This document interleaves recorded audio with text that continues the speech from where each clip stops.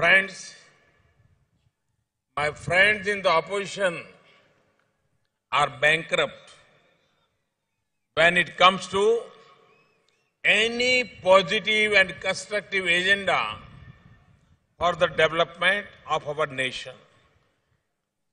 All they have is hatred for Modi.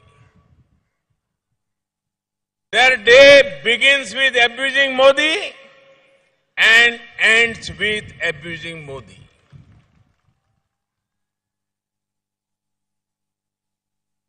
സുഹൃത്തുക്കളെ നമ്മുടെ പ്രതിപക്ഷത്തിലുള്ള സുഹൃത്തുക്കൾ അവർക്ക് ആശയ പാപ്പരത്വം ബാധിച്ചിരിക്കുന്നവരാണ് കാരണം ഈ നാടിന്റെ വികസനത്തിന് വേണ്ടിയിട്ടുള്ള ക്രിയാത്മകമായിട്ടുള്ള വികസനോന്മുഖമായിട്ടുള്ള ഒരു കാര്യവും അവർക്ക് മുന്നോട്ട് വെക്കാനില്ല അവർക്കാകെയുള്ളത് മോദിയോടുള്ള വെറുപ്പ് മാത്രമാണ്.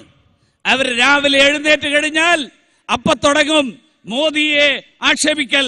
രാത്രി ഉറങ്ങുന്നത് വരെ മോദിയെ ആക്ഷേപിക്കൽ മാത്രം ഈ ഒരൊറ്റ അജണ്ടയുമായിട്ടാണ് അവരുടെ ഒരു ദിവസം കടന്നു പോകുന്നത്.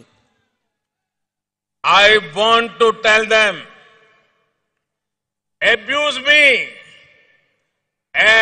much as you want, but don't mislead the farmers.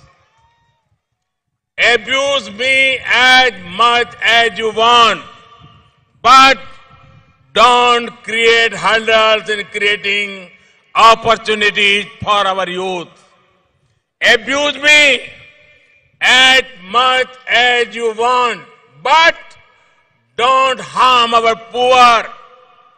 Abuse me as much as you want, but don't put barriers in India's progress. Abuse me as much as you want, but don't abuse our great nation. എനിക്ക് അവരോട് പറയാനുള്ളത് നിങ്ങൾക്ക് എന്നെ ഇഷ്ടം പോലെ ആക്ഷേപിക്കാം ആക്ഷേപിച്ചോളൂ പക്ഷേ ഈ നാട്ടിലെ കർഷകരെ തെറ്റിദ്ധരിപ്പിക്കാൻ അതിന് ഈ മാർഗം സ്വീകരിക്കരുത്. നിങ്ങൾക്ക് എത്ര വേണമെങ്കിലും ആക്ഷേപിക്കാം. പക്ഷേ ഈ നാട്ടിലെ ചെറുപ്പക്കാർക്ക് വേണ്ടിയിട്ട് അവസരങ്ങൾ സൃഷ്ടിക്കുന്നതിന് അതിൽ തടസ്സമുണ്ടാക്കരുത്. നിങ്ങൾക്ക് എത്ര വേണമെങ്കിലും ആക്ഷേപിക്കാം. പക്ഷേ ഈ നാട്ടിലെ പാവപ്പെട്ടവരെ ഉപദ്രവിക്കാൻ ഇതൊരു മാർഗമായിട്ട് കണക്കാക്കരുത്. നിങ്ങൾക്ക് എന്നെ എത്ര വേണമെങ്കിലും ആക്ഷേപിക്കാം. പക്ഷേ ഈ നാടിന്റെ വികസനത്തിന് ആ വികസനത്തിന് തുരങ്കം വെക്കാൻ ഈ മാർഗം ഉപയോഗിക്കരുത്. നിങ്ങൾക്ക് എന്നെ എത്ര വേണമെങ്കിലും ആക്ഷേപിക്കാം.